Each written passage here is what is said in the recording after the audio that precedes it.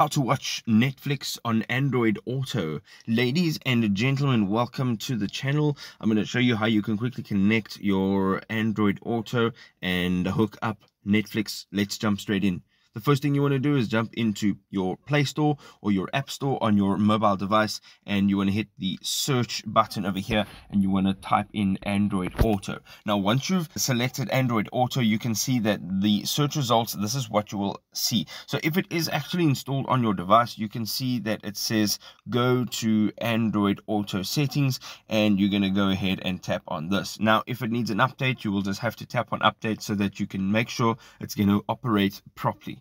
Now, the next step you want to take is right at the top, it says connect a car. Now, you want to tap on that. Now, there are two ways that you can actually connect to a car. The first way is to connect via a USB cable, and you'll be connecting it to your vehicle that has uh, the appropriate USB port. And then you have the wireless connection which you can also actually do which is available on some vehicles. So whichever way it is you're going to go ahead and select that and connect your device. Now you're going to go back and let's say that you would now like to connect your Netflix account. This is how you go about it. So of course first of all you need to have your Netflix app.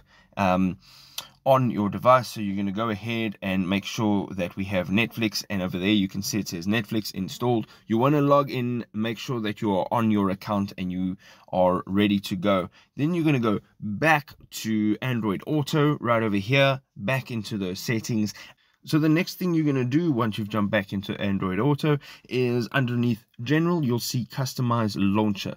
And you're going to open that. Now, once you've opened this, you will see a list of apps that are compatible with your Android Auto as well as your vehicle and you can now find Netflix in here. So this will only become visible once your Netflix account has actually been logged in and your Android device has been connected to your vehicle. And there you go. Now you can easily watch Netflix on Android Auto. I hope this was helpful. If you have any questions go ahead drop a comment below. We'll see you next time.